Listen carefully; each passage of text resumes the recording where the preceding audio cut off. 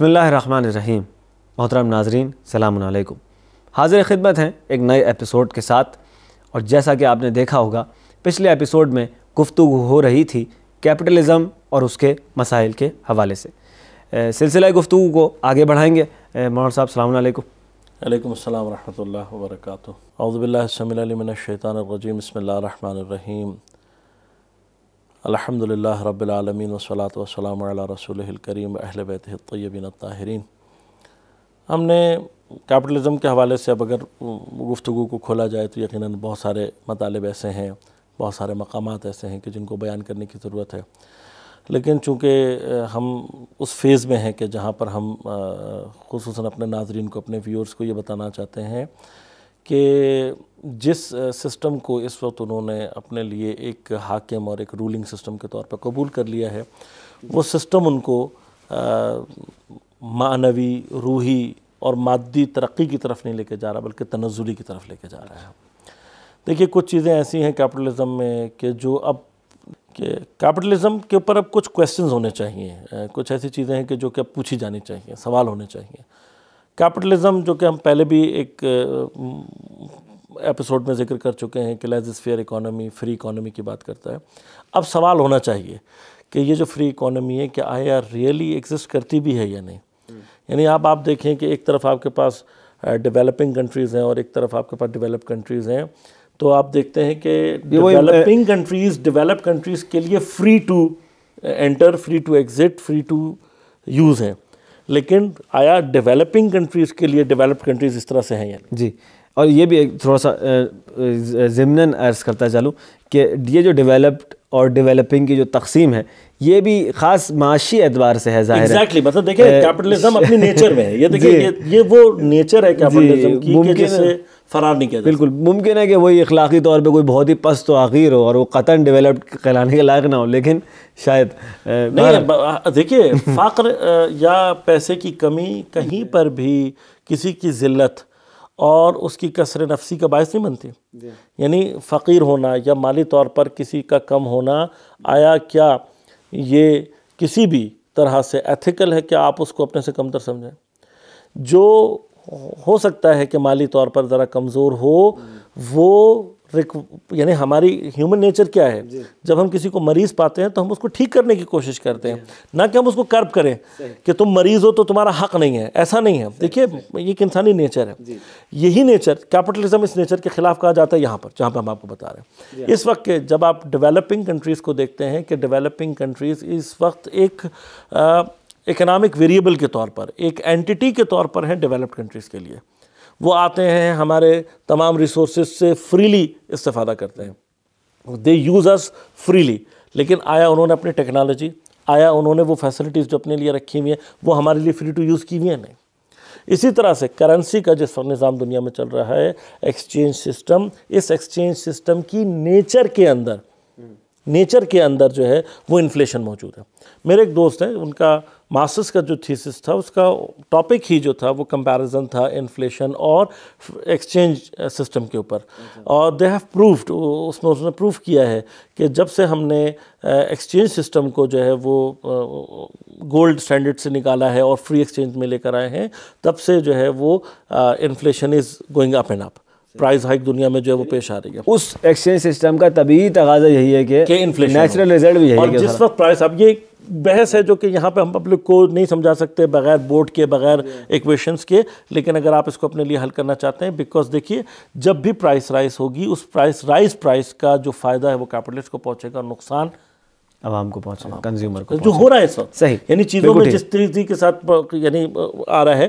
اور ہم یہ دیکھ رہے ہیں کہ دیکھیں کس طریقے سے کیپٹلسٹ ورلڈ اب آپ افریقن کنٹریز کو دیکھیں کہ آپ یہ دیکھتے ہیں کہ جو آپ کے ڈیولپڈ کنٹریز ہیں وہ بہت ہی یعنی بے دردانہ طریقے سے ان کے ریسورسز کو یوز کر رہے ہیں اور وہاں کی جو بیچاری عوام ہے وہ تمام تر دنیا کے بہترین ریسورس آپ سینٹرل افریقہ کو اگر آپ جا کر اسٹڈی کریں تو آپ دیکھیں گے کہ سینٹرل افریقہ آپ حیران ہوں گے سینٹرل افریقہ آئل موجود ہے سینٹرل افریقہ میں یورینیم موجود ہے سینٹرل افریقہ کے اندر اور اس طرح کی بہت ساری کوالٹیز موجود ہیں۔ ان کے پاس ریسورسز موجود ہیں ان کے پاس نیچرل ریسورسز موجود ہیں لیکن they are not allowed to use their own resources this is what capitalism ہم اب اس جس سے جس چیز کی بات کر رہے ہیں اسلام اس کے سامنے اس کے مقابلے پر آ کر ایک ایسا سسٹم دیتا ہے۔ لہٰذا اسلام جب آتا ہے بات کرتا ہے تو وہ اس ان ایکویلٹی کی جو نیچر میں موجود ہے اس کو ختم کرنے کی صحیح۔ بہت عمدہ ماشاء اللہ جزاک اللہ۔ مور صاحب ہر سسٹم جو ہے وہ کچھ مشکلات کو حل کرنے کا دعویٰ کرتا ہے۔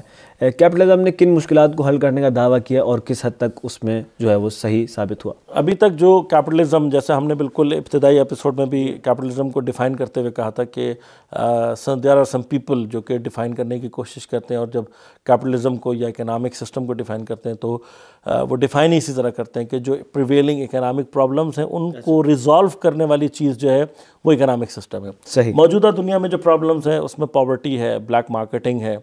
اسی کے اندر جو ہے وہ ایکیملیشن آف ویلتھ ہے unequal distribution of wealth ہے۔ اور اسی طرح سے اور ڈفرینٹ پرابلمس ہیں۔ Inflation itself is a problem جن کو صحیح ان امپلائمنٹ انکم ڈسٹریبیوشن یہ ساری چیزیں اس میں جی جی۔ صحیح۔ تو اب کیپٹلزم کو جب ہم آ کے دیکھتے ہیں اب مثلا پاورٹی کے اوپر۔ پاورٹی کے لیے ایک بڑا فیمس فریز ہے جو کہ استعمال کیا جاتا ہے۔ اور میں اس کو بھی جب کبھی کبھار دیکھتا ہوں تو مجھے بڑا عجیب سا فیل ہوتا ہے۔ دس سیٹ کہ poverty anywhere is a threat to prosperity everywhere اب یہ جو جملہ ہے اس کو اگر آپ ابتدا میں دیکھو تو بڑا اچھا لگتا ہے آپ کو کہ پاورٹی کو تھریٹ سمجھا جائے پروسپیرٹی کے لیے۔ لیکن اگر آپ اس کی ڈیتھ میں جا کے دیکھو گے تو ہم یہ کہتے ہیں کہ poverty is not a threat poverty threat نہیں ہے۔ آپ کی پروسپیرٹی کو کوئی نقصان نہیں پہنچے گا۔ پاورٹی کی بھی اپنے لیمٹس ہیں پاورٹی کی بھی اپنی فارمز ہیں. بہت سارے لوگ دنیا میں ایسے ہیں کہ جو بہت زیادہ پیسہ نہیں کمانا چاہتے ہیں. یعنی they are not after having a lot لیکن کم از کم ان کو اس ایکسٹریم پاورٹی سے باہر نکالنے کی ضرورت ہے. جبکہ کیپٹلزم کی جو یعنی شکل ہے، اس کی جو سٹرکچر ہے، اس کے اندر اس کا ایک آؤٹ پٹ ایکسٹریم پاورٹی ہے. وہی چیز جو ہم نے آپ کو بتائی کہ انکم اور ویجز کے درمیان میں جو ڈفرنس ہے which is fuelled by loans and which is fuelled by جب کیپٹلزم آ کے چیریٹی کی بات کرتا ہے نا I'm questioning this thing capitalism جس وقت چیریٹی کی آ کے بات کرتا ہے پاورٹی میں، ایک وہ شخص کے جو کسی ڈیوائن اب میں اس کو بالکل اوپنلی بات کر رہا ہوں. آپ کسی بھی مذہب سے تعلق رکھتے ہوں ہندو ہوں مسلمان ہوں اینی ون کرسچن ہو آپ کوئی بھی ہوں جب آپ ایک ڈیوائن اتھارٹی کو سامنے رکھتے ہوئے چیریٹی کی طرف جاتے ہو یو بلیو ان کہ آپ کی چیریٹی کا آپ کو کوئی ثواب ملے گا ایٹ لیسٹ ثواب کوئی ریٹرن ملے گا۔ کوئی ریٹرن ملے گا۔ کسی اور عالم میں ضرور انڈر کیپٹلزم آپ چیریٹی دے رہے ہوتے ہو آپ کے پاس کیا چیز ہے؟ یو ہیو نو اینڈ بس جس چیز کو آپ چیریٹی کہہ رہے ہو basically that is the place کہ جہاں پر آپ فیڈ کر رہے ہو کسی کو تاکہ وہ اپنے سبسسٹنس لیول پہ باقی رہے اور آپ کے لیے as a tool of production استعمال ہو۔ کیپٹلزم کی نگاہ انسانوں کے اوپر as a tool of production ہے، جبکہ دین کی نگاہ انسانوں کے اوپر مساوی ہے۔ وہ وہ آدمی کے جس کے پاس بہت پیسہ ہے اور وہ آدمی جس کے پاس کچھ نہیں ہے، دونوں کو مساوی سمجھتا ہے۔ دونوں کو اللہ کی، خدا کی، بھگوان کی مخلوق سمجھتا ہے۔ ہاں یعنی ہم یہ کہنا چاہ رہے ہیں کہ ایک بہت امیر آدمی، مثلا ایک اگر ایک محلے کا تصور کریں جہاں ایک انسان بہت امیر ہے اور ایک اسی محلے میں ایسے افراد رہتے ہیں جو کہ بہت ہی غریب ہیں، شاید دو وقت کا کھانا بھی صحیح سے نہیں کھا سکتے۔ تو اگر کیپٹلزم کی نظر سے دیکھیں تو کوئی عیب نہیں ہے اس شخص کے لیے اگر وہ دوسروں کو کچھ نہیں دے رہا اور کوئی بھوکا مر بھی جاتا ہے اس گلی میں، تو جو ہے وہ آپ اس کو لائبل نہیں ٹھہرا سکتے۔ اور کسی بھی صورت میں آپ اس کو اکاؤنٹیبل نہیں سمجھ سکتے۔ بھائی تمہاری مرضی، دو یا نہ دو۔ لیکن دینی اینگل سے جو ہے معاملہ بالکل جیسے ہم نے کہا کہ دین وہاں پہ کیا کہتا ہے، فی اموالہم حق و معلوم آپ کی ضرورت سے زیادہ جتنا ہے آپ کے پاس، اس پہ دوسروں کا حق ہے۔ اب آپ نے وہ حق دینا کیسے ہے؟ دس از اے کوشچن آپ کے پاس کیپٹلزم میں کوئی راستہ نہیں ہے، لیکن دین آپ کو راستہ دکھاتا ہے۔ دین آپ کو بتاتا ہے کہ اس میں سائل کے لیے بھی ہے، اس میں محروم کے لیے بھی ہے۔ اب سائل کی ڈیفینیشن اگر ہم کریں گے تو سائل کی ڈیفینیشن تھوڑی اور بڑی ہو جاتی ہے۔ And this is the point دیکھیے کہاں پر آ کر انکم وہی uneven income distribution is the one of the biggest problem of prevailing economic systems صحیح۔ یعنی poverty problem itself is linked with جو ہے انکم ایون انکم ڈسٹریبیوشن سے ریلیٹڈ ہے. جتنی آپ کی uneven economic income distribution ہوگی آٹومیٹکلی اس کا جو رزلٹ ہے وہ پاورٹی کی صورت میں آتا جائے گا. دنیا میں مگر اس وقت پاورٹی بڑھ رہی ہے یعنی بڑھ رہی بڑھ رہی ہے. دنیا میں جو لیول آف پاورٹی ہے اس کے نیچے لوگوں کی تعداد زیادہ ہو رہی ہے ہو رہی ہے. یہ سارے اسٹیٹ سے جو ہے پروو ہو سکتا ہے دنیا میں جا کے آپ اس وقت گوگل پہ جا کے دیکھ لو آپ کو پتہ لگ جائے گا. دا پرابلم از ناؤ کہ کیا ہمارے پاس کیپٹلزم میں کوئی سسٹم ہے نہیں۔ کیونکہ کیپٹلزم آپ کو کسی بھی جگہ پر آ کر کسی بھی چیز کی کوئی ضمانت نہیں دے رہا کوئی گارنٹی نہیں دے رہا۔ انکریج بھی نہیں کر رہا۔ نہیں کرتا ہے کہ بھئی آپ کریں تو وہ آپ کو آپ کی میکسیمم سیٹسفیکشن کی طرف لے کے جا رہا ہے۔ وہ آپ کو بینگ اے کنزیومر یہ کہتا ہے کہ اگر آپ کے پاس پیسہ زیادہ تو آپ زیادہ کنزیومر صحیح۔ اور پھر وہ لگزریس گڈس کا کانسیپٹ ہے کہ انفیریئر گڈز اور لگزریس گڈس ہیں کہ وہ بلکہ ہے ہی اسٹیٹس سمبل مخصوص افراد کے لیے۔ بالکل۔ جبکہ دین آپ کو کیا کہتا ہے؟ دین آپ سے یہ کہتا ہے کہ جہاں آپ کی ضرورت دیکھیے دین ہمیں لگژری سے منع نہیں کرتا۔ دین ہمیں دنیا کے اندر نعمتوں سے منع نہیں کرتا لیکن دین یہ کہتا ہے کہ ان نعمتوں پہ دوسروں کا بھی حق ہے۔ دوسروں کا حق ہے۔ اگر دوسروں کو مل رہا ہے مثلا اب مثال ایک ہم اس کو یوں لکھتے ہیں کہ اگر دوسرے لوگ دال کھا رہے ہیں تو تمہیں پر پر پیسہ زیادہ تمہیں چکن کھانے کا حق ہے۔ اگر دوسرے لوگ چکن کھا رہے ہیں تو تمہیں مثلا اس سے زیادہ بہتر چیز کھانے کا حق ہے۔ یعنی کیا؟ جو لوسٹ جو کیٹیگری ہے وہ آپ کی ہمیشہ نظر میں ہونی چاہیے۔ بس دین آپ کو راستہ دیتا ہے۔ دین آپ کو بتاتا ہے کہ کیسے؟ جہاں پر آپ کی انکم لیول اب یہی بات ہے کہ دین ان لوگوں کی جن کا انکم لیول اس سٹیج پر پہنچ جاتا ہے کہ جہاں پر وہ دوسروں کو دینے کے قابل ہو جاتے ہیں۔ دین میں ان کی حیثیت مجاہدوں کی سی ہے۔ ان کو مجاہد کا سٹیٹس دیا گیا ہے۔ یعنی روایت میں ملتا ہے کہ القاد علی کل مجاہد فی سبیل اللہ۔ وہ آدمی کے جو اپنے گھر والوں کے اوپر ان کو وسعت دے رہا ہے ان کے خرچوں کو اٹھا رہا ہے وہ بالکل اس شخص کی طرح سے جو کہ اللہ کے راستے میں مجاہد کر رہا ہے۔ بڑی عجیب و غریب حدیث ہے۔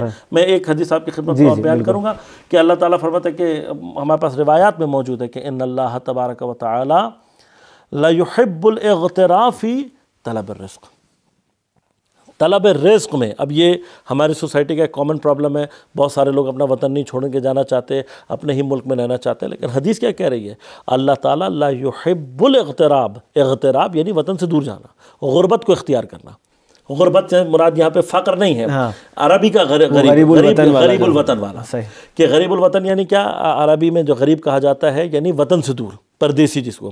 اللہ تعالیٰ وطن سے دوری کو طلب رزق کے اندر دوست رکھتا سبحان یعنی وہ جو حدیث ہم نے علم کے لیے سنی ہے کہ علم حاصل کرو چاہے چاہے آپ تمہیں دور اس ایگزیکٹلی وہی ہمارے پاس موجود ہے رزق کے لیے۔ اور اگر یہی بات ہے جب آپ نے کہہ دی بہت اچھی بات کی طرف آپ نے توجہ دلائی ہے کہ ہمارے پاس ایگزیکٹلی روایت موجود ہے کہ طلب العلم۔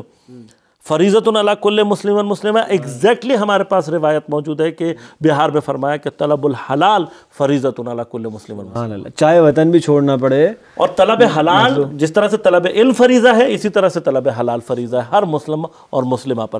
اسپیشلی جب ہم اس کی بات کرتے ہیں اس روایت کو سامنے رکھتے ہیں مسلم اور مسلمہ یعنی اسلام نے گیٹ خواتین کے لیے بھی کلوز نہیں کیے ہیں بلکہ طلب حلال کرنا اگر کسی ایسی خاتون کہ جس کے اندر یہ صلاحیت ہے کہ وہ آ کے طلب حلال کر سکتی ہے وہ کما سکتی ہے تو اسلام اس کے اوپر گیٹ کلوز نہیں صحیح۔ وہ اب یہ بحث ہے کہ آئیڈیل کیا ہے اور مجبوری کیا ہے اس پہ انشاءاللہ۔ آئیڈیل رول آف وومن کیا ہے وہ ایک الگ انشاءاللہ ٹاپک ہے۔ انشاءاللہ بہت ہی دلچسپ بحث ہے اس کو مزید آگے بڑھائیں گے۔ اس پوائنٹ پر اس سے پہلے کہ انکم ڈسٹریبیوشن کا جو پرابلم تھا اس پہ بات کریں گے کس حد تک کیپٹلزم نے اس کو سولو کیا۔ اس پوائنٹ پر گفتگو کو روک کے مولانا ایک چھوٹا سا بریک لیں گے ہم۔ ناظرین پروگرام میں وقت ہو گیا ایک بریک کا۔ حاضر خدمت ہوں گے بریک کے بعد۔